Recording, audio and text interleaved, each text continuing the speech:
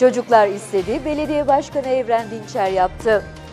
Aksaray İl Müftülüğü'ne bağlı Hazreti Hatice Kız Kur'an Kursu bahçesine Aksaray Belediyesi tarafından peyzaj ve oyun grubundan oluşan çocuk parkıyla dinlenme alanı yapıldı. Çocuklara verdiği önem ve gösterdiği sevgiyle takdir toplayan Belediye Başkanı Evren Dinçer, Kur'an kursunda ziyaret ettiği çocukların istediği oyun parkını yaptırarak onları sevindirdi. Belediye Başkanı Evren Dinçer, parkın açılış kurdelesini oyun parklarına kavuştukları için mutlulukları gözlerinden okunan çocuklar, İl Müftüsü Cemalettin Bal ve açılışa katılan İl Emniyet Müdürü Ali Karabağ ile birlikte kesti.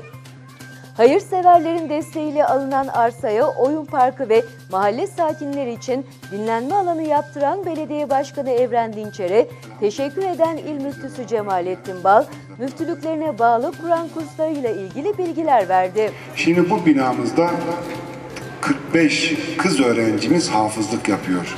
Ya Rabbi ne büyük bir nimet, ne güzel bir gelecek inşallah. Bunun yanında 100 küsür 120 tane öğrencimiz 4-6 yaş grubunda yine burada onlar da eğitim görüyorlar. Biz şu gördüğünüz arsayı parayla satın aldık. Bir kısmında halkımız yardım etti. Elhamdülillah.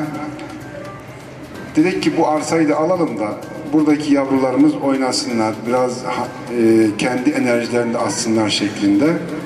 Başkanımızdan da bu dilekte bulunduk, istekte bulunduk. Bu araziye bir çocuklarımızın eğleneceği, efendime söyleyeyim şöyle enerjilerini atacağı bir yer olsun diye. Başkanımız kırmadı belediye başkanımız. Allah razı olsun. İşte gördüğünüz bu hale geldi. Belediye Başkanı Evren Dinçer ise yaptığı konuşmada Aksaray'a yapılacak hizmetlerin her zaman yanında olacaklarının altını çizdi. Biz de böyle güzel bir hizmete az da olsa bir katkı sunmaya çalıştık.